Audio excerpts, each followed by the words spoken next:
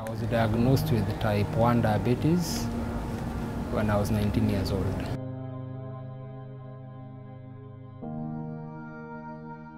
There are people who think that diabetes is a condition, is a disease for the rich or is a disease for people who are who have got problems in their genes or it's a disease of families or it's a curse in the cultural idea.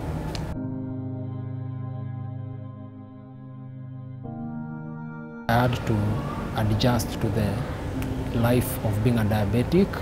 That is medication, that is checking my diet, that is exercise, and also stress management. So you have to adjust psychologically in order to live with the disease.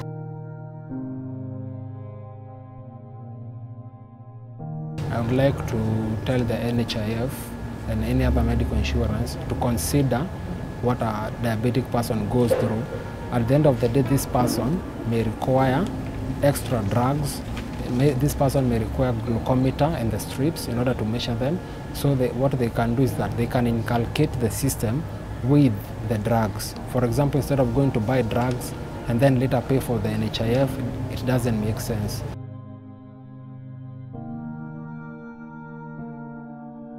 Some of my best moments on discovering I had diabetes is identifying and knowing that I'm not the only one with the condition. It is a common condition.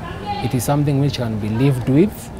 It's something which cannot prevent you from achieving what you want. At the end of the day, it is not a stumbling block. You can use it as a stepping stone to your, to your ambition.